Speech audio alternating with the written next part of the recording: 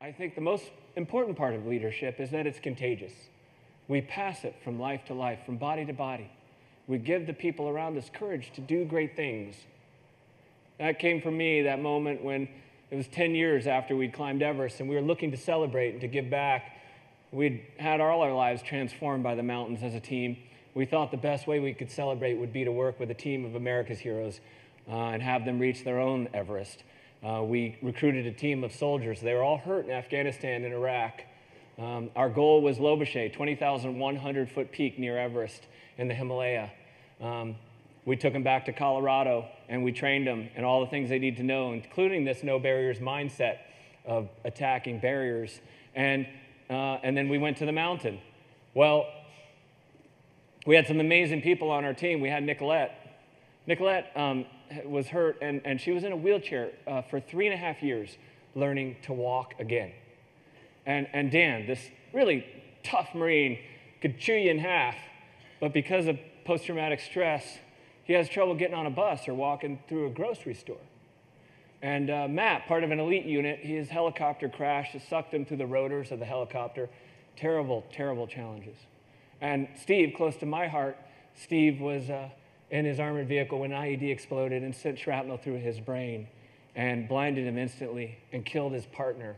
The mountain turned out to be tougher than we thought, as they always are. Up steep rock, uh, up steep snow and ice, and uh, somewhere up high on the mountain, everybody was working hard. Steve, he just had one of these moments. We probably all had him a moment of fear and doubt. He had trained, he had prepared right, but he had been blind for less than two years. He just had one of these moments. And he dropped to his knees and he said, I, I don't belong here. I, I've gone as high as I can. I need to go down. And Jeff, who seems to know what to say, he said, Hey, Steve, this isn't just about you. This is about your injured comrades. This is about those who have yet to be injured, those who didn't come home, like Victor. He said, This is as much about them as it is about you. You own this. Now knuckle down and get this job done. And that's what Steve needed to hear because with that motivation, with the ultimate sacrifice of his friend Victor, he got up. He got up off his knees and he struggled forward.